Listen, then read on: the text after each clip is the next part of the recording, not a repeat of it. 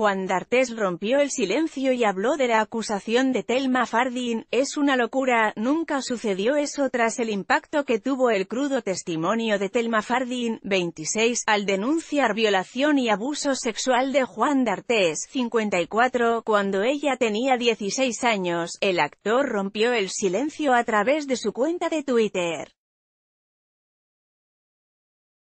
Y negó todo. No es verdad lo que se dijo, por Dios. Es una locura, nunca sucedió eso. Por favor esperemos los tiempos de la justicia. Gracias arroba Fernand Burlando por escucharme, tuiteó el actor desde la red social, rompiendo el silencio tras hacerse pública la denuncia y marcando la estrategia legal que planea, junto a su abogado, tras la denuncia de Ana Roselfeld, su anterior defensora. La palabra de Juan D'Artes tras la denuncia de Telma Fardin de violación y abuso sexual. Foto, Twitter.